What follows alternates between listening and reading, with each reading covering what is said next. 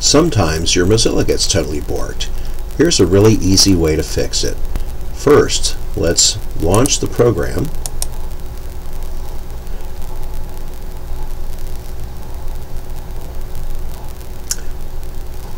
And we need to back up our bookmarks.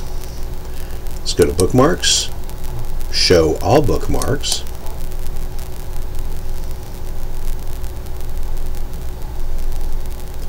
and we're going to go to Import and Backup. Click Export Bookmarks to HTML. Very important you choose this one. It'll naturally go to your desktop, Bookmarks HTML, that's great. Click Save, and we're now backed up. Next, close Firefox. Open up any folder on your desktop I'll choose the manuals folder. Go to Tools, Folder Options, choose the View tab. Under Hidden Files and Folders, make sure that you can see the hidden files and folders by clicking Show. Apply and OK.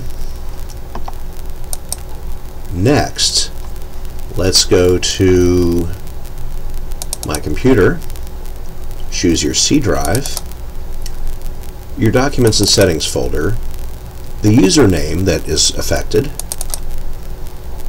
application data, and then Mozilla. Rename that Mozilla Old.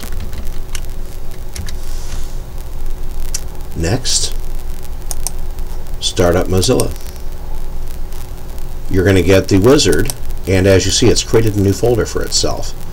I'm not going to import anything and there is the Welcome to Firefox page. As you see this is a completely different Firefox than the one we started. Now we need our bookmarks back. Go to Bookmarks, Show All Bookmarks, click Import and Backup, import bookmarks from HTML, desktop, open and you're done. That's it. If you've made a mistake in Mozilla, all you have to do is delete the new folder and just rename your old one. Um,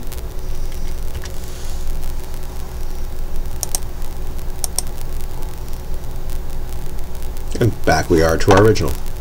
That easy.